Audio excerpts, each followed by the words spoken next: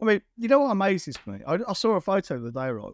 Jeff Bezos from back 1990 ish, or in the 1990s anyway, in his garage on a desk when he's uh, set up Amazon.com. That's where he started. Fast forward, what, 25, 30 years or so? It's a fucking trillion dollar company. And he's, he's occasionally the richest man in the world, I think. Certainly over 100 billion is in the 100 billion plus club. He's doing all right. So he's, he's not far behind me, you know? Yeah, I'm not far. He'll get there one day tomorrow. He'll get there one day. And as you know, I've been trying to get M82. Now, the, the Kindle's on sale already. So if you want the Kindle, just head on over to the Kindle store. M82's there. It's even on it, Kindle Unlimited. So if you've got a Kindle Unlimited, you can read it for, for nothing or part of your subscription, right? I'm trying to get the book listed. Now, this this is getting Kafkaesque. This, this is what something out of fucking Kafka. I have two books. I have this one, M82, I have my original one, Critical Business Fast. This has been on Amazon for uh, at least 11 years this summer. This one I added a few weeks ago, and the fucking shit comprehensively hit the fan. I made the mistake, it seems, of basing my new listing for this book on the original listing for this book. But it's legit, you can do that. It allows you to do it. And no matter, even if I did the wrong thing, it should not allow me to do what has happened. Because for some reason, Amazon was convinced, the system was convinced, the ISBN for this book referred to this book. And it wouldn't let me change it. So I went through I went through Amazon support. And in the end, whoever it was has gone in himself or herself and changed the title. Because I kept saying, no, you can't you can't call this ISBN tagged book M82 because it's already called this. So they went in and changed that, right? And you think, oh, God for that. Done. No, because this has got reviews attached to it. And the new listing for this book has also got the reviews for this book. All right? Gets even better. For some reason, which I shall come to in a moment, I couldn't actually sell any copies of this because no matter how much inventory I put in, not available. But there are second-hand copies of this available. Apparently, three of them. What? And when you click on it, uh, ah, when you click on three copies available, you go through to a listing of this book. It's a fucking shit show. And I, re- I recorded this loop, right? And we can even put the link in the posting of the podcast because it's fucking hilarious. I'm laughing. I'm saying, look, I'll keep you my good humor here, but this is just ridiculous. Doing my head in. I and, and then they start saying things like, well, you you know, you need a certificate of you, your right to sell this stuff and everything else. I say, look, I I wrote both of these books. I own all of the rights to both of them.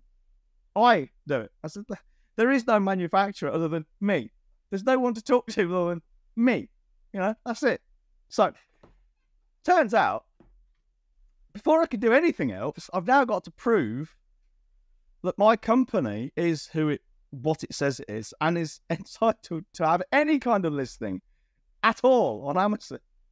So yesterday I had to upload a printout from well, I, I download from the CRO company record office, right? That's the Irish company's house. Now they want more. Now they want the art- my articles of association, which again I can get from the CRO. But it's just it is it's not like something out of fucking Kafka. All this because I wanted to list this book. Look, he does my nutting. How they became a trillion dollar business, I don't know. But it wasn't like I mean, I do understand. I, I'm not getting mad with them because one, it ain't that it ain't the individual person's fault. They they would have fucking processes for this because they must have hundreds, possibly thousands, possibly tens of thousands of new products added every single day, and they do have to be careful who's selling what. I know they do. They've got to be really careful because apart from anything else, if if they, for instance, if someone's selling knockoff Rolexes on Amazon, the FTC in the states won't go after the individual seller; they go after Amazon themselves. So I'll get it. I, they have to be really fucking careful. And I'm, and I'm just a nobody. I don't I don't. I mean, I'm getting a different person responding to my queries every single day. I, am not big enough to warrant my own account manager, and I get. I don't have a problem with that either. I'm not getting like. A, I'm not a Karen about it. It's just fucking doing my head in. As you can see, I'm keeping my good humour. It's been two and a half weeks now. Well, if Jeff Bezos would stop getting hench and shagging his Latina misses on his 100 million foot yacht, maybe these issues wouldn't happen, eh?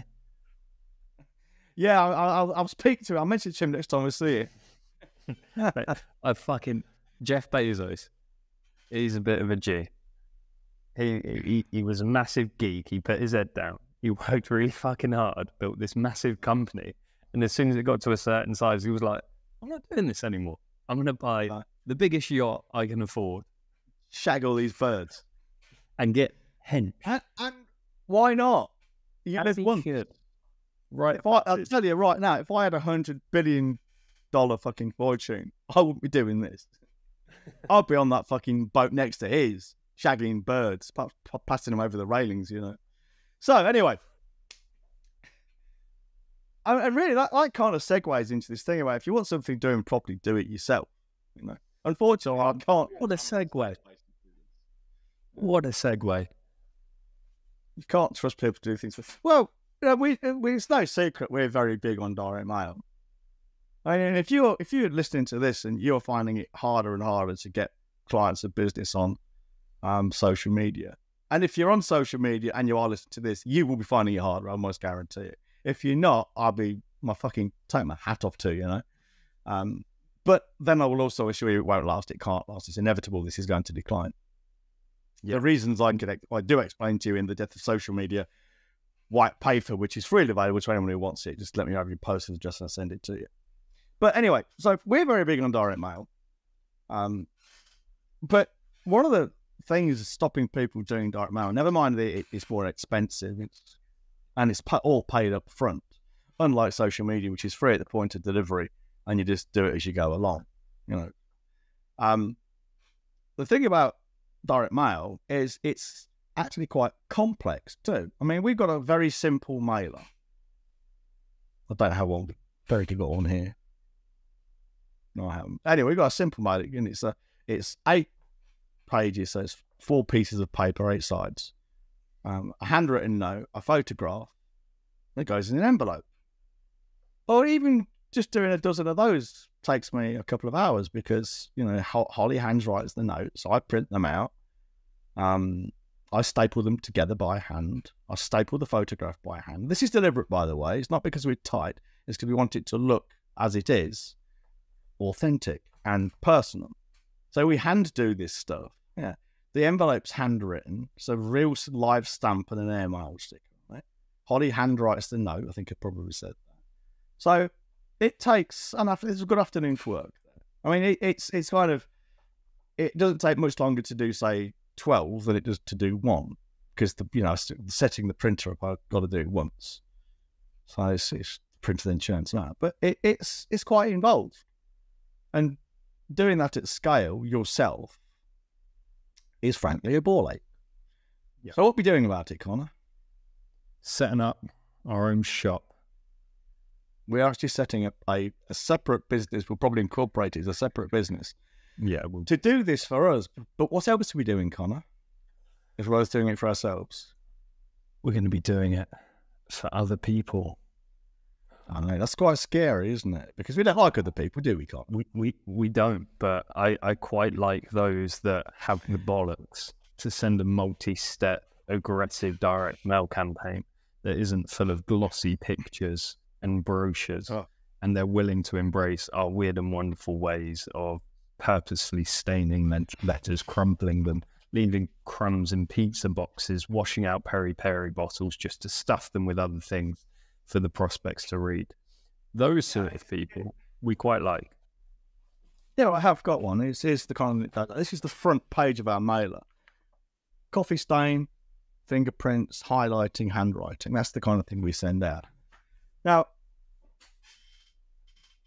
there are loads of people out there doing this. There's print. I mean, there's, lo- there's almost anyway any any printer, so any high street printer, such as Blaby Print in in the UK, the guys we used to work with and still do on occasion for sense. Yeah, we still do. Used to be owned by my cousin Rob, really nice chap. But Blaby Print, if you're in the UK, um, they'll they'll do your normal run of the mill direct mail all day long. This is not hard to get.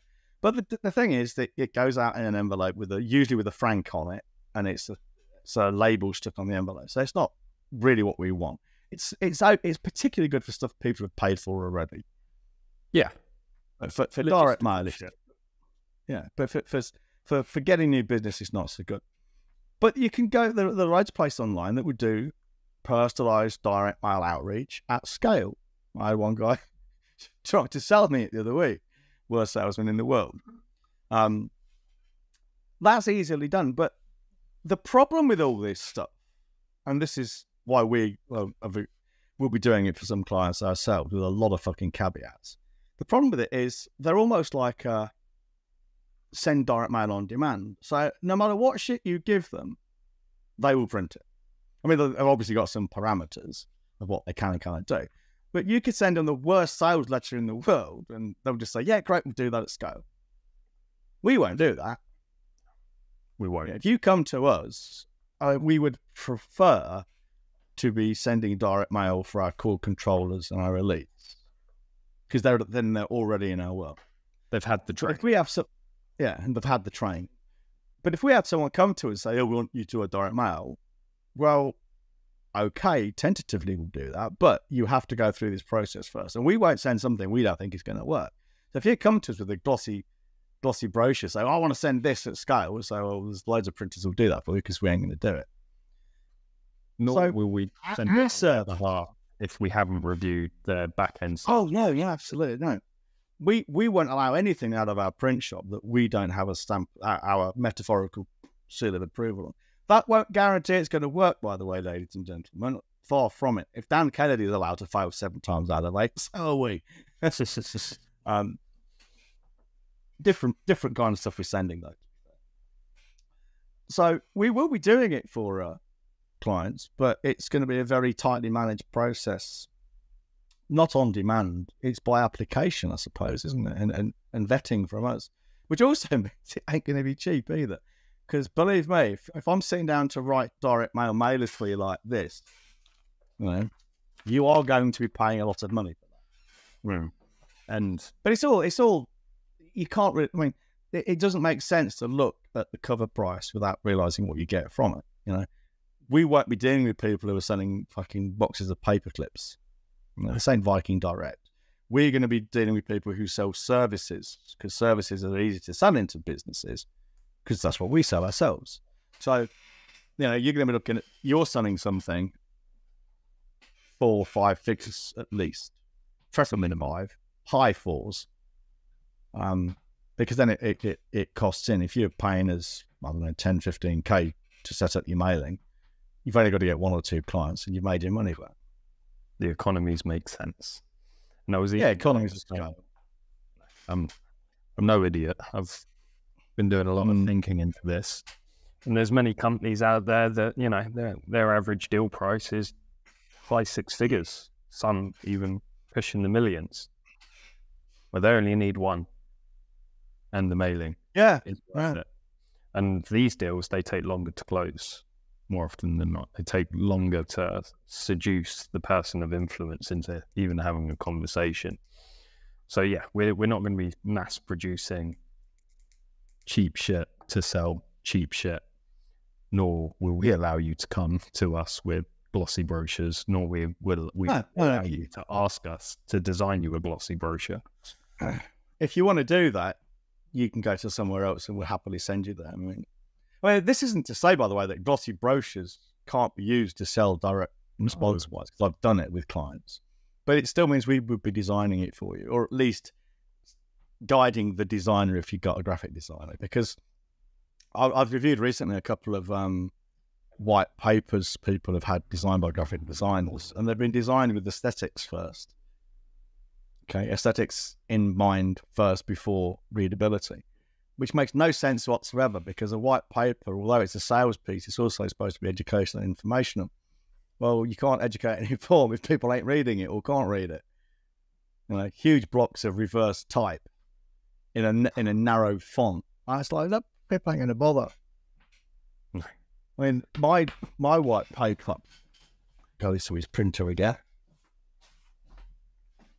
And of course, most people, when they've got their own printer, I've got a good printer, 800 quid about 10 years ago. That's a high end printer. Most people have got a cheap Epson they picked up at Tesco, which is great for your odd letter here and there, but it's not good for mass emails. This is my white paper. It's, it's designed for readability. You know, it's really easy and pleasant to read. The, the, the, the process of reading in the paper gets out of the way of the content. To mangle a, a quote from Jeff Bezos, as it happens, he said he wanted the Kindle device to get out of the way. That's why it's so simple and plain. That's us, really, direct mail. Yeah, setting up our own shop. And we will have canned campaigns and whatnot because we teach various can campaigns. But even as we said, if you're one of our core controllers and whatnot, and you come into our mail shop, we'll be doing a, a triple, quadruple thorough review of the process in and of itself. Because as John said, if something is going out with our rubber stamp stamp of approval from our shop, from our premises, we're going to make sure it's the gold fucking standard. Well, it's our reputation on the line, isn't it? Mm, fundamentally. But we're, we're potentially looking at flying you over, aren't we, to the UK? Yes. Poor old England, eh? Poor old England. Mm. Scope out some premises. Sniff out. Yeah, I mean, stuff. it's certainly while you're in Bali. Um, I know you're going to be maybe around a bit closer to home for a short period of time. But uh, it, it makes sense to have one of us close on the ground, ready to fucking go and kick ass when we need to, because we will. Yes, we we absolutely will. Well, I, I should be around Chile. the cast December. I Actually, a thought. I I haven't thought. No, I'll talk to you after we've finished. Okay. So, is there any more to say, really? Not really. I don't think so. Well, on that note, we can finish nice and early. I like a nice nice early finish. Wife complains, but hey. but no, direct mail. I mean, it, if we've got, I don't want to say too much. We we have got a potential client wants to talk to us, who is from a world-renowned sales training people. If I mention the name, you would know it, unless you know absolutely nothing whatsoever about sales training. Uh, You know, if you you don't have to be very well educated to have heard the name. Put it that way. They're famous. They're huge. But we've got a guy who wants to talk to us. Now, if he wants to talk to us, it ain't about sales. No. I'm pretty sure it's not because they're not just a big firm. Their stuff is good. So he must only want to talk to us about lead generation and pipeline and stuff, and getting people in front of to talk. Bearing in mind these are a big cold calling firm as well. Well, if someone from that firm is wanting to talk to us about this stuff, that does tell you something. If it doesn't, you're probably not listening carefully enough. Oh. You know what I mean? Of course I do. He's the guy you phoned up and he just knocked you dead in your tracks. Because he can play the game better than you can. So you bring in the, the guy who knows what he's doing, me. Ah, I'm never Guy knows what he's doing. Hey, is he Never Is let he on the hook? that one, mate. is he on the hook? Nearly, nearly. He's on the hook. So hey, I I- I had a role. I had a part to play. Very poor one.